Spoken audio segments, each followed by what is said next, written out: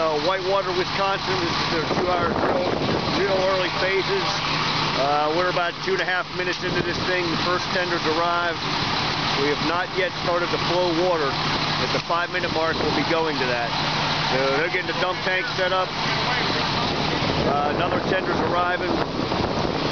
Using, uh, they're using the MABAS system, and uh, they've been using a run card based on that. Uh, they're getting an additional drop tank down. This tender, this tender's 4,200 gallons. He carries a 35 and a 25, and they're dropping both of them.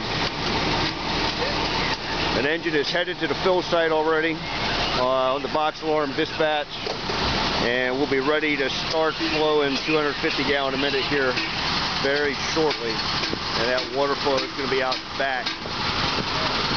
So they're working on getting set up. Offloaded their equipment. We're uh, 3 minutes 30 seconds into it. Get that first tank set up.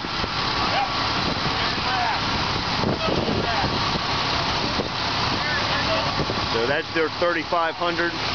They're just offloading, putting that 25 over to the side.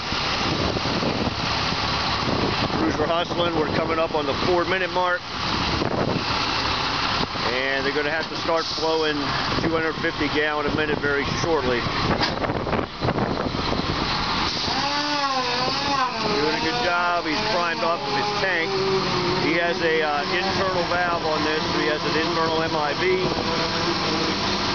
He's now getting ready and he's going to charge charge that two and a half feeding that portable monitor. So we'll give him a chance to see that. He is uh, waiting on our signal, so we have to be able to see the operator. Get ready to dump the first load of water.